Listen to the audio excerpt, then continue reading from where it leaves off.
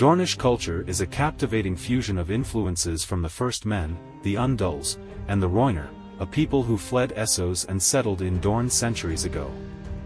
This rich heritage manifests in various aspects of Dornish life, from their customs to their values. Dornishmen are renowned for their fiery passion and unwavering pride. They embrace life with gusto, celebrating their traditions with fervor and upholding their customs with unwavering loyalty. This spirited nature is evident in their love for music, dance, and storytelling. Dornish society is characterized by its strength and emphasis on personal freedom. Unlike the rest of Westeros, Dorne adheres to matrilineal inheritance, where women hold positions of power and respect. This egalitarian ethos extends to their social norms, where love matches are encouraged and personal choices are valued. Dorne has long been shrouded in mystery, its reputation for secrecy and intrigue only adding to its allure.